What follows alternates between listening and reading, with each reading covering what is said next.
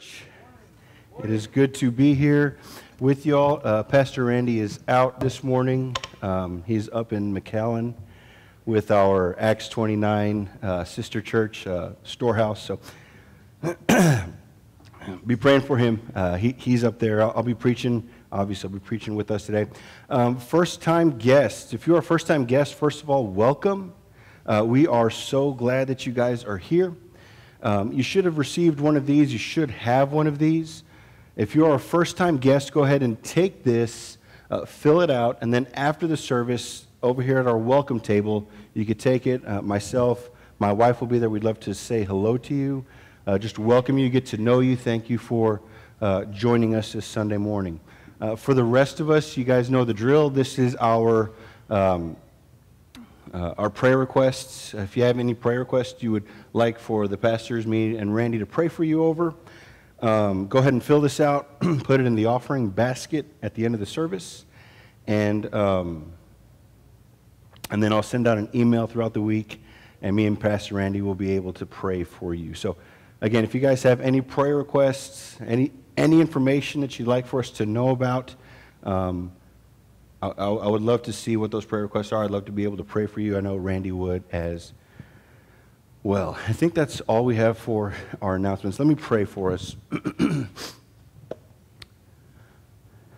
Lord, we thank you for this time. Lord, we thank you for uh, coming together together as, as a body of believers who profess faith in you, Lord. Uh, Lord, I pray over this time. Um,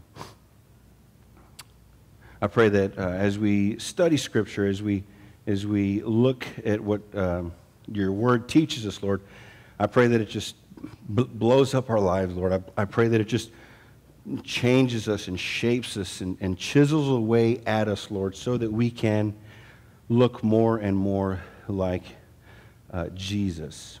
Uh, Holy Spirit, I pray that you uh, speak through uh, me this morning, Lord. Uh, I pray that your words come through this morning. Lord, I pray for clarity of thought.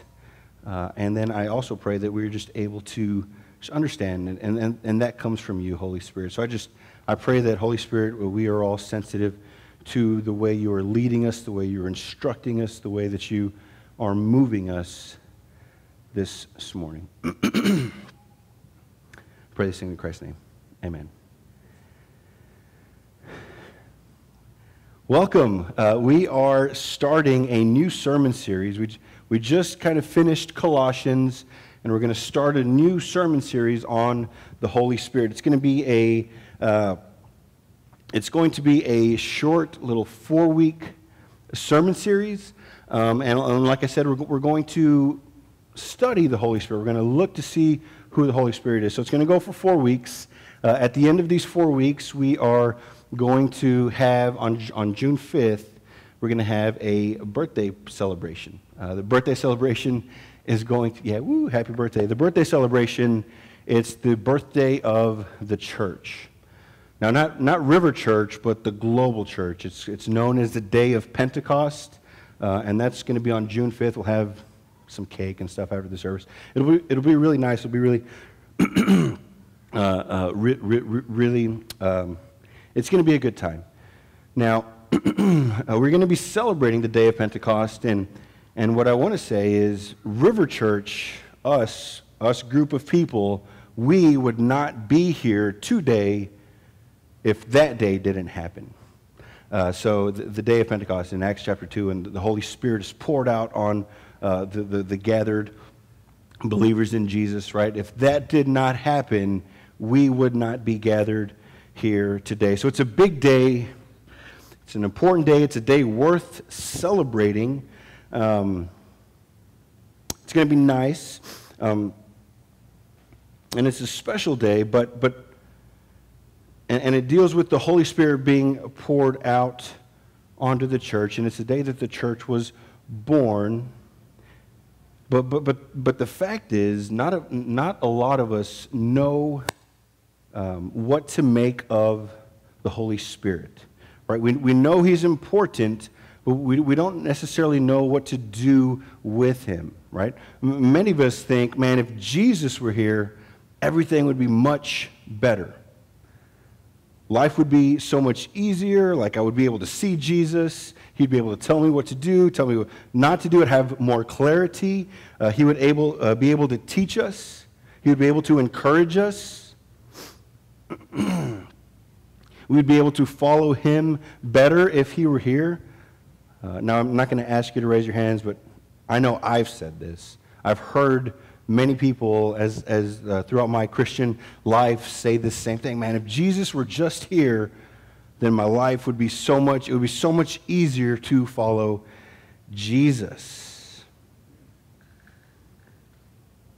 Now, Jesus understood this, and it's, it's when Jesus resur- uh, resurrected, he was with his disciples, and, and he tells them in, in John chapter 20, he says, Jesus said to him, he's talking to Thomas, right? He says, Have you believed because you have seen me?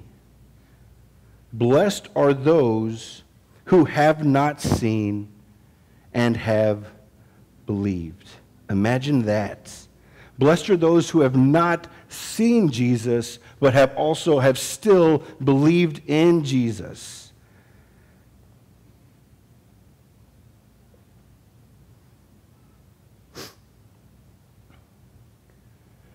It, now, now as, as, as we long to look at Jesus, we long to see Jesus, as we all wish that Jesus were here with us, would you believe that, that Jesus actually says to that, it's better that I am not here. It's better that I go away. If I go away, then I will send you my helper, right? So, as much as we want Jesus to be here and we think that he would solve all of our problems, right, he says that it's better that he goes away. Now, recently, uh, we were invited to go swimming at a friend's house. And uh, my kids, they, they love to swim. Well, they love to splash in water. They don't know how to swim yet. Um, but, but they love to be in the water, right? Bath time is pretty eventful just because it's a tub full of water. Um, anyway, so we were invited to this uh, pool, uh, this, this uh, friend's house, and they had a pool, and uh, we were able to go swimming. Um, and again, anytime we do this, my kids are always like, man, this was the best day ever, right? I'm like, come on, guys, we've done so much for you. This is the best day. Um, but, but, but they're always excited to get in the water. Now, I have three boys. Uh, Joshua's one, so he can't really swim. He's just being held the whole time. Uh, but but, but Matthew is, is the carefree child, right? He just jumps in the deep end and he trusts that somebody's going to catch him or be there for him. Uh, but my oldest son, William, he's, he's very calculated. He's very, uh, he, he, he processes the whole thing. He's like, okay, if I jump here, how deep is it here? Can I touch the ground? What if I were to jump in over there? Right? He's, he's very thinking through, he's very careful, and he's thinking through uh, the entire, in, entire situation, right? Do I have a floaty? Do I not have a floaty? Like, what's the temperature of the water? Where's the wind coming? Is it from the north? Right? That's my son. That's William. And uh, so he's very calculated. Now, he also loves having a good time, right? And so at this pool party, they had a slide. And so he was like super excited to go down the slide, but he was also really just careful about the whole process. Um, and, and, so, so, but he had a blast. And I knew that once he got up the slide, then once he started going uh, through the slide, he was going to have a great time. But it was just hard to get him to that point. And so William, he would climb up the slide, sit up at the top, and he would, you know, I'd be standing there waiting for him. He's like, Daddy? I was like, Yes, son. He's like, Are you going to are you gonna catch me? I'm like, Yeah, I'll be right there, son. Are you sure? Yeah. Okay, get closer. I'm like, son, I'm like right here. No, get closer. So I get closer. He's like, okay, okay, William, I'm ready for you. He's like, no, Daddy, get closer. I'm like, you're going to hit me in the face, right? um, get closer, get closer, Daddy, get closer. Are you going to be there? You're going to catch me? You sure? Yes, son, I, I will be here. Right? And so finally, finally, he came down the slide and I got him, and all was right in the world. Or he gets up freaking out, like, oh my gosh, but got him, right? Taking care of him. But this happened every time. And, and so what, what I could only imagine what it would have been like for him, though, if I was like, son, you're up there, you're scared out of your mind. By the way, I'm not going to be here, I'm leaving. I'm not going to be here to catch you. I'm going to go inside, right? I need to take care of something inside real quick. Don't worry, though, son. Don't worry. I'm going to send someone to you, but I myself am not going to be here. I couldn't imagine what his response to that would have been. Yet, this is exactly what Jesus said to his disciples.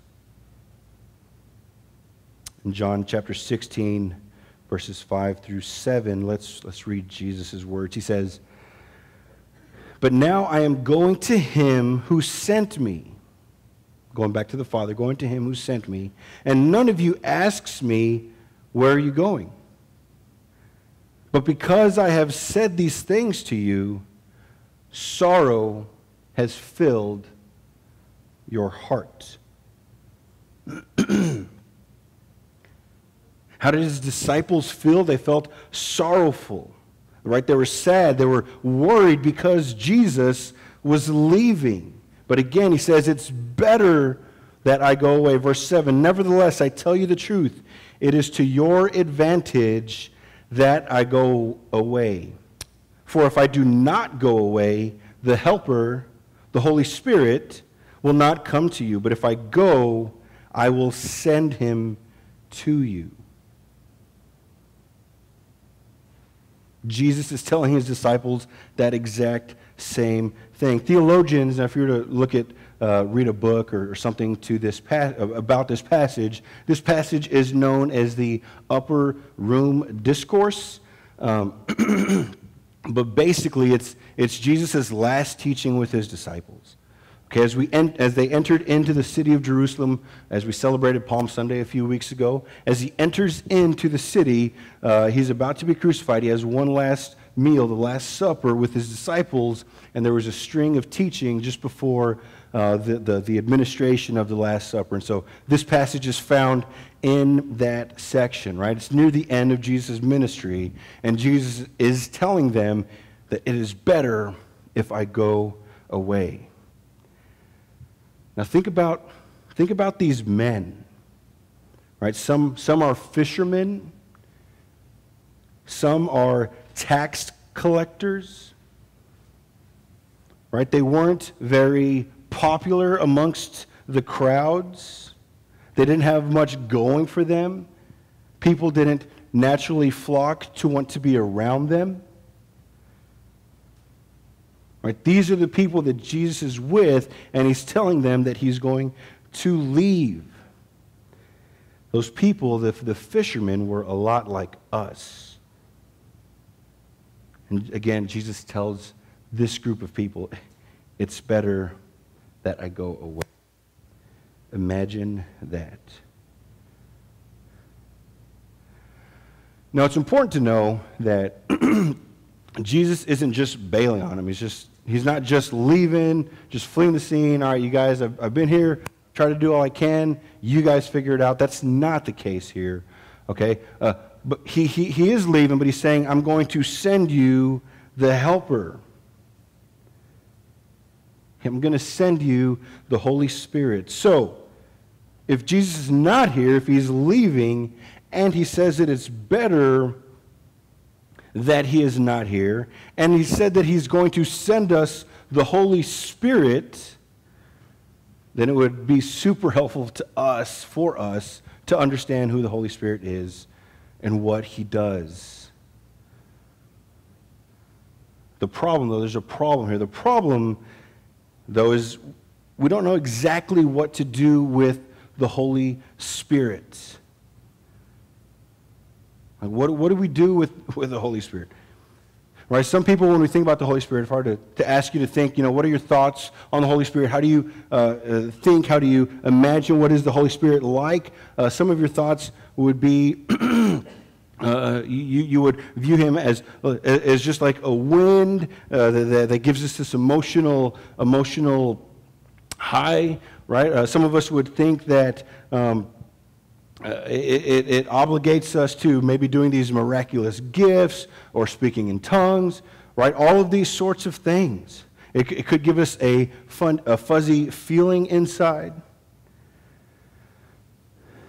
over the past 20 years in the church, uh, I'm sorry, 120 years, so since the 1900s, we've seen in the church, we've seen the rise of the Pentecostal movement.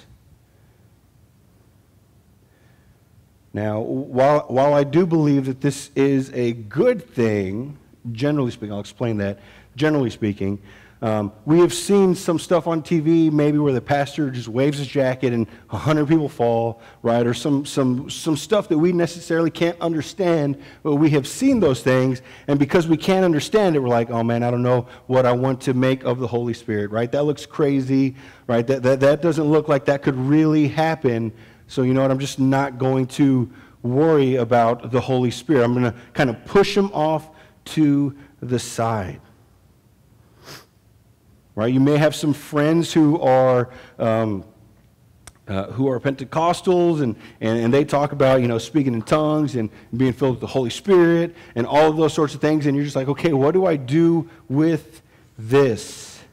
Now, for some uh, history on my end, I actually grew up in a Pentecostal church for like 12 years, my, the first 12 years of my life. So I've seen a lot of this stuff. I've seen a lot of the stuff that I'm talking about. And I see how there is confusion as to what to make of it. Historically speaking,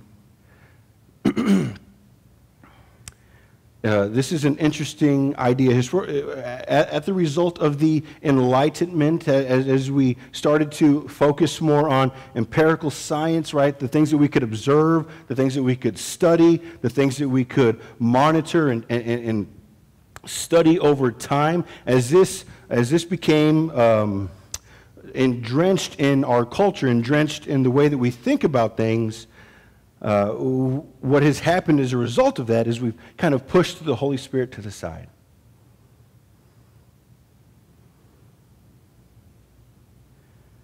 We, began to focus on things that we could observe, and we have neglected the Holy Spirit. Now, whatever your uh, opinions are, you may have some, some baggage with the Pentecostal church. I understand. Um, but what I do want to say is I, that it is good.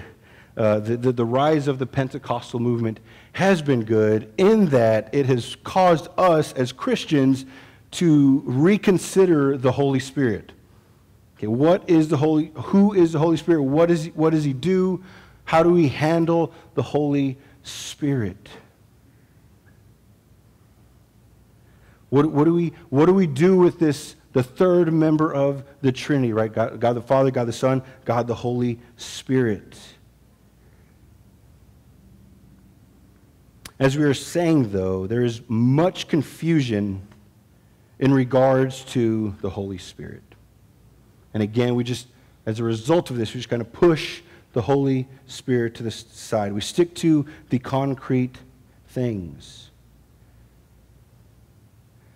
And in doing so, we thwart God. We restrict God. We don't worship God to his fullest.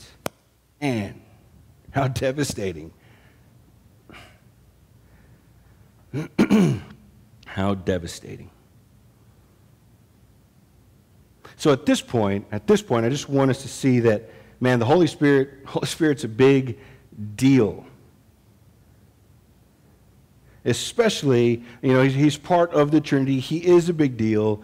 Um, we affirm him. You know, we all would say that we believe in the, uh, the, the triune God of the Bible, God the Father, God the Son, God the Holy Spirit. We would all say that. We all do say that. We all say that God is one in nature, three in person, the Trinity right? We are comfortable with God the Father. You know, we pray Heavenly Father all the time. Uh, we are very familiar with the creation account. You know, uh, God the Father, we are comfortable with that. Some of us are fathers, right? Some, all of us have a father, and so we can make sense of a father, right? God the Son, Jesus, you know, we celebrate Christmas every year. We celebrate Easter every year right? it's not very hard to, to get us to think about and, and understand Jesus, but not so much with the Spirit.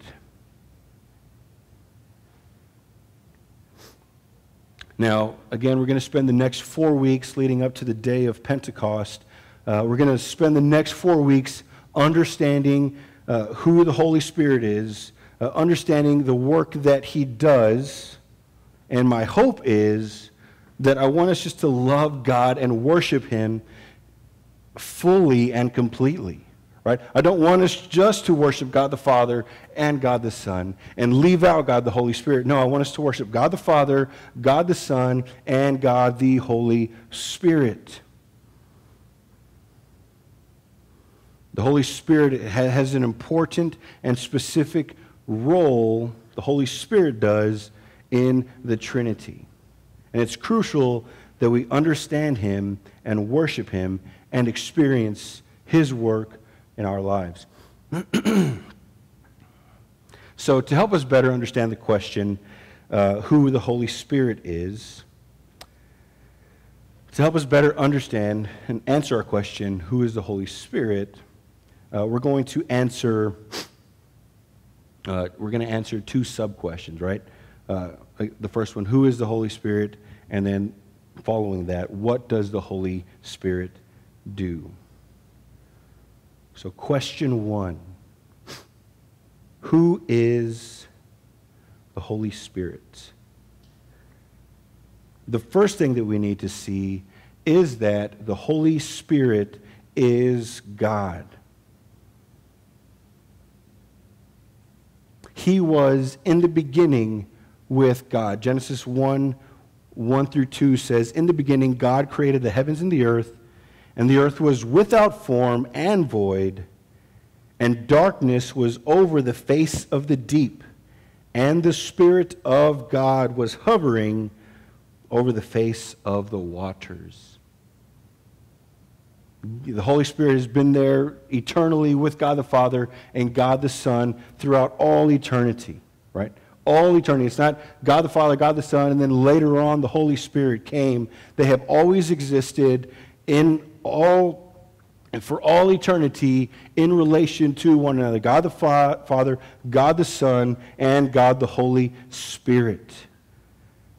The Holy Spirit is God. Another example is in Acts, Acts chapter 5, verses 1 through 6. and in this passage, Paul equates the Holy Spirit with God. He says, But a man named Ananias and his wife Sapphira sold a piece of property and with his wife's knowledge, he kept back for himself some of the proceeds and brought only a part of it and laid it at the apostles' feet, right? So they just sold uh, a property, they made some money, but they held back some of it and then they gave the rest. And but Peter said, Ananias, what is why has Satan filled your heart to lie to the Holy Spirit and to keep back for yourself part of the proceeds of the land.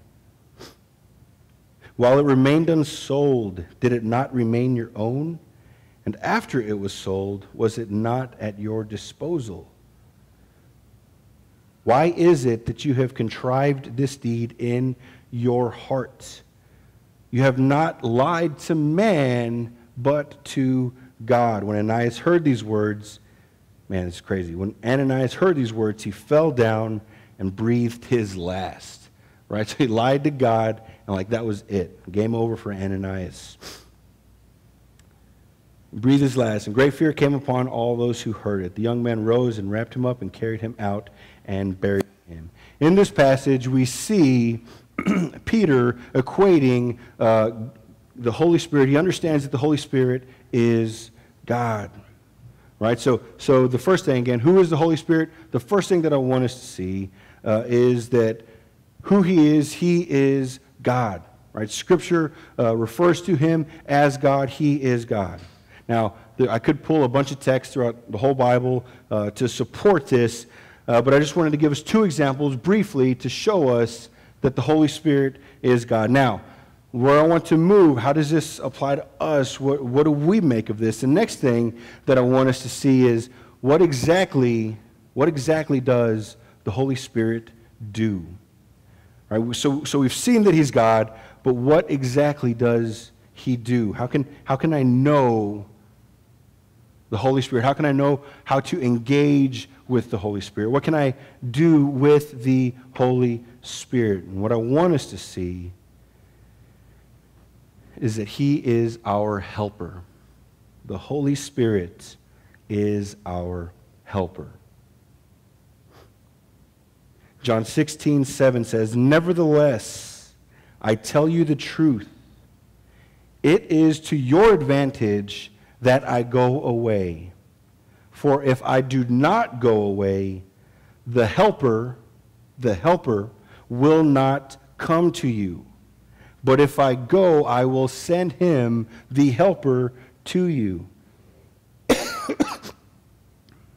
John 14, 25 and 26 says this These things I have spoken to you while I am still with you, right? Jesus is still uh, with his disciples. These things I have spoken to you while I'm still with you, but the Helper, the Holy Spirit, from whom the Father will send in my name, he will teach you all things and bring to your remembrance all that I have said to you.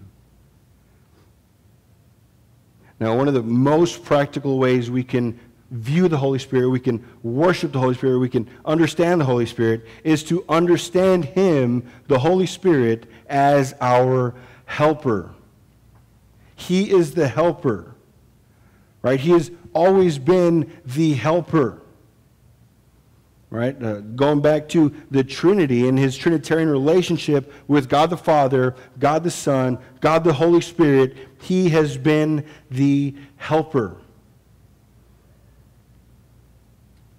Right? Uh, the scripture says that the Father and the Son both send the Holy Spirit, right? Hey, we need to get this done, and they send the Holy Spirit to work on it. In Genesis 1, God created everything, and the Holy Spirit is hovering over the waters. Right? When, when, when Mary is going to, uh, the Virgin Mary is going to conceive of a child, the Holy Spirit was there with her. Right? In our hearts right now, the Holy Spirit is doing this work in making us more and more like Jesus. As Christians, he is, he is helping to prepare us. He is helping to prepare us for our future in heaven, for our, for our eternal future. He is doing a work in our lives, right? Sent by God the Father, God the Son, to do a work in our lives, to prepare us, to get us ready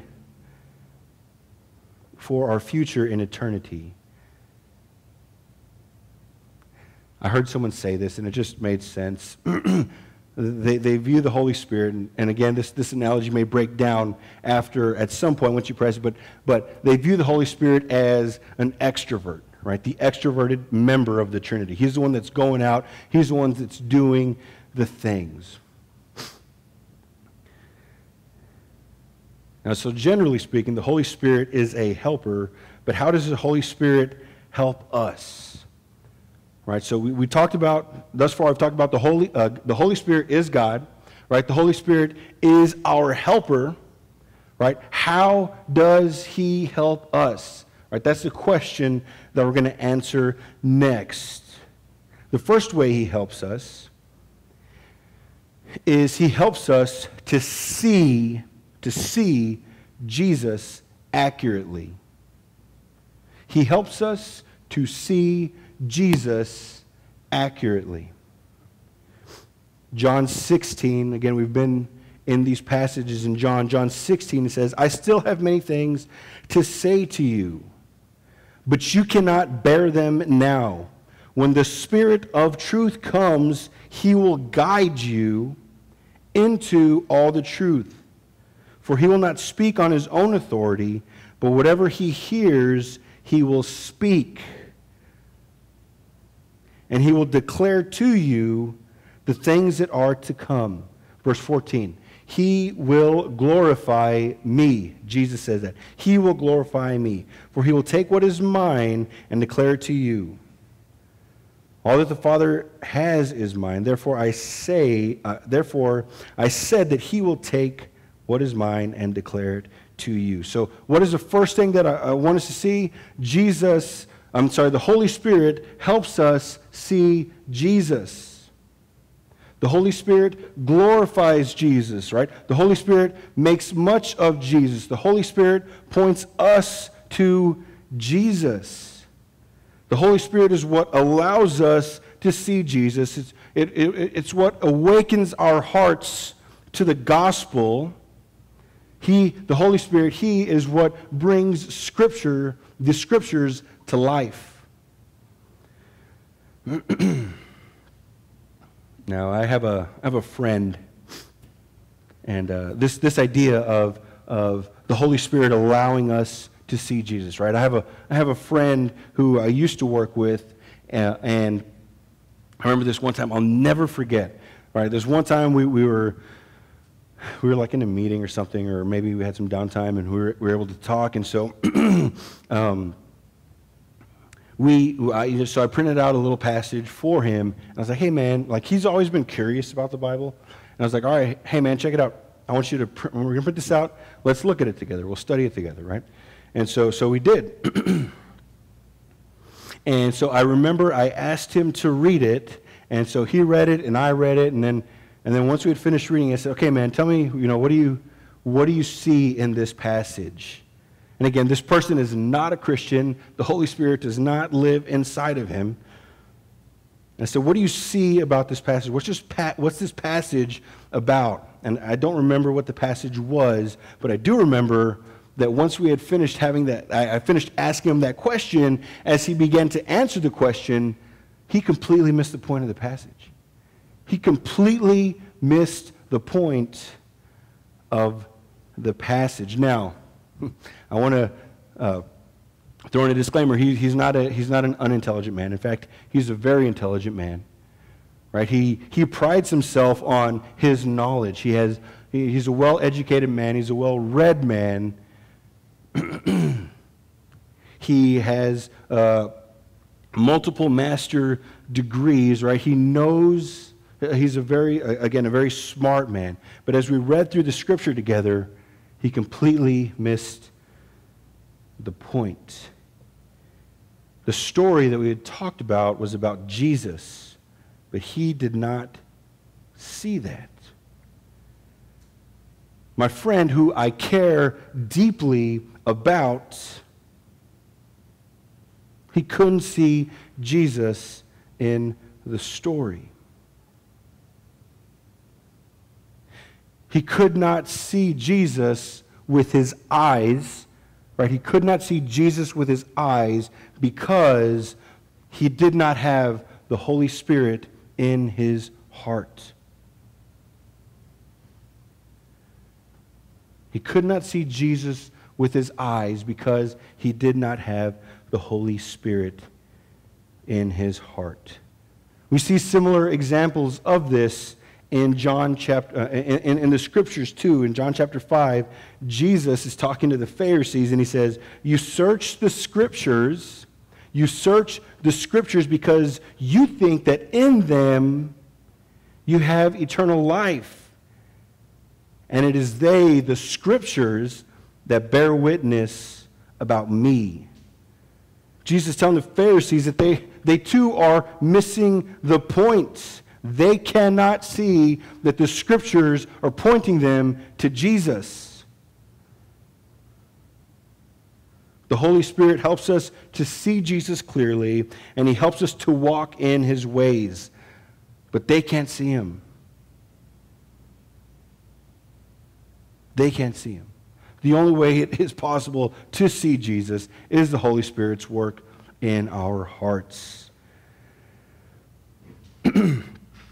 So, so, so again, how does the Spirit help us? As a, as a recap, the first way is that He helps us to be able to see Jesus accurately. And the second way that He helps us is He helps us to see ourselves accurately. He helps us to see Jesus accurately, and He helps us to see ourselves accurately. John 16, 7 to 8 says, again, Nevertheless, I tell you the truth, it is to your advantage that I go away.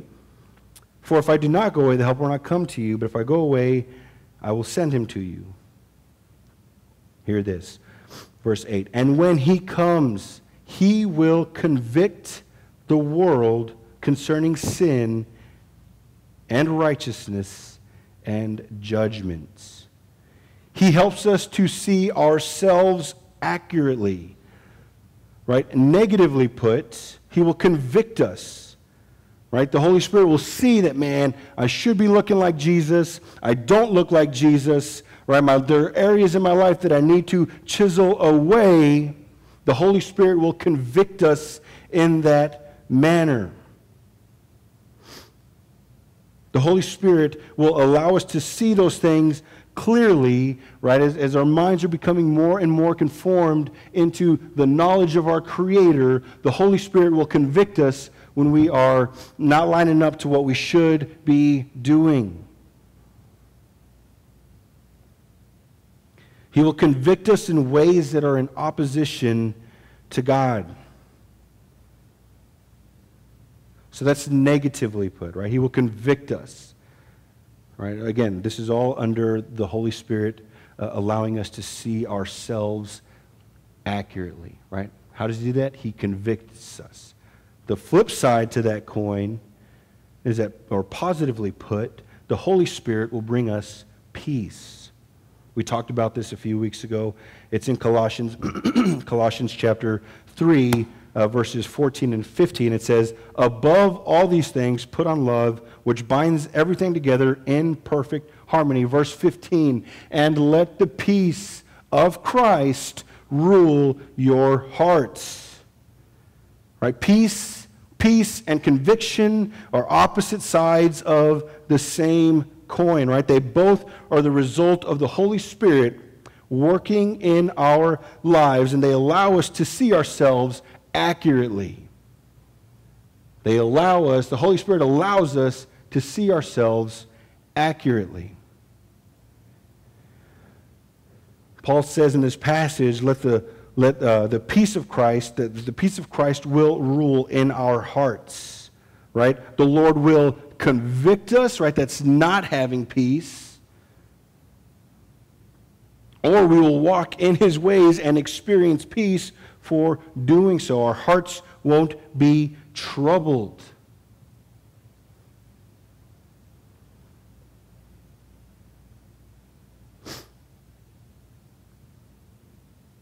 In what areas is there conviction in your life?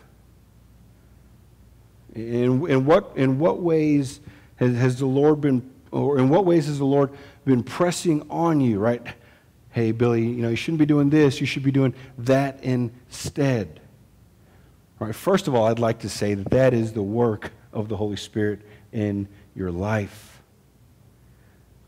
He is helping us to get back on track, right? He is urging us to walk in the truth. He is urging us to walk in step with Jesus.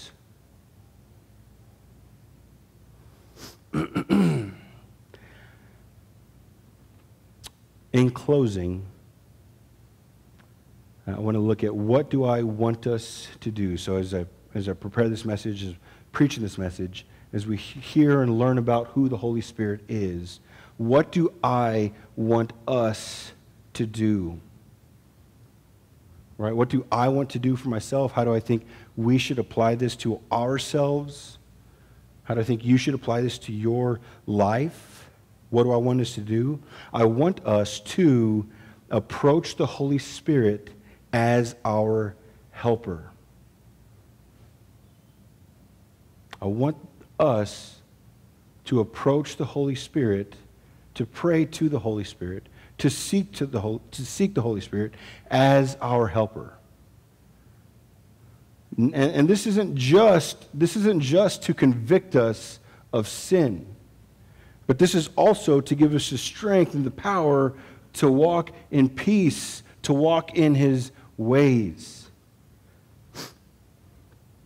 Again, I preach this, I, I, quote this passage almost every time I preach, but Ezekiel chapter 36, verse 27, again, Old Testament. Israelites don't know what they're doing, can't do it. And God tells them, And I will put my spirit within you, and I will cause you, I will cause you, I will cause you to walk in my statutes and be careful to obey my rules. Man, it's the Old Testament, right? The, the, Israelites are not getting it right, and God says, I'm going to put my spirit within you, and I'm going to cause you to walk in my ways.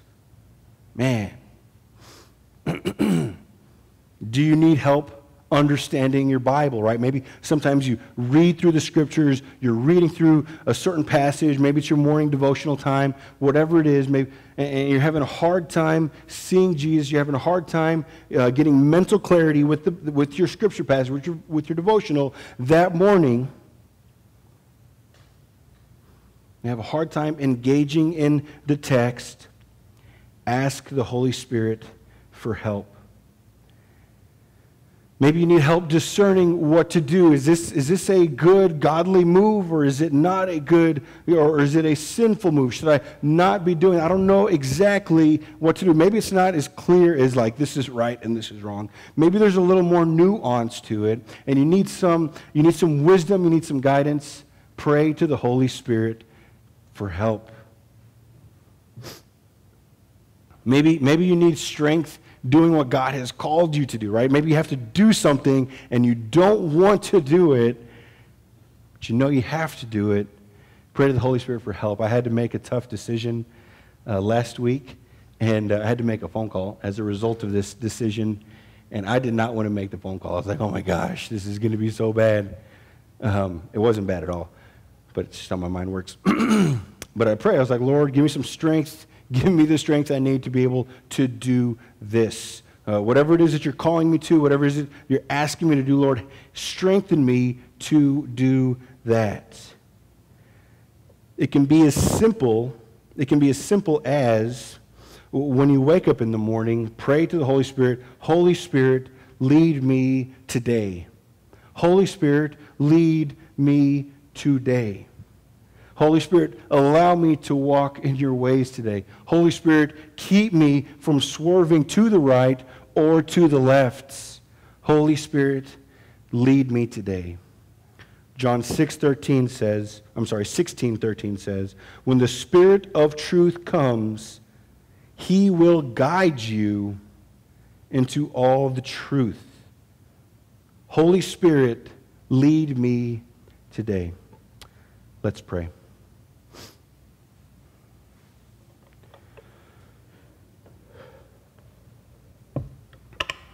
Lord, thank you um, for this day, Lord.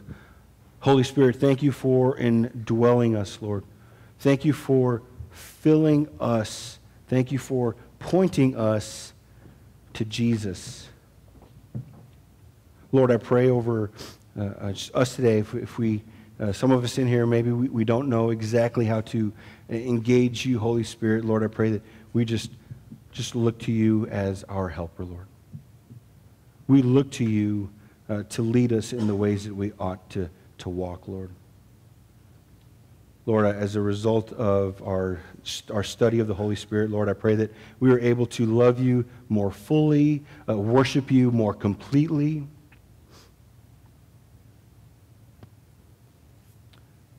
And Holy Spirit, I, I pray that uh, you just continue to, to live in us, Lord, continue to. Um, uh, to, to continue to keep us from swerving to the right or to the left. Cause us, Holy Spirit, to walk in your ways, Lord. Praise in Christ's name. Amen.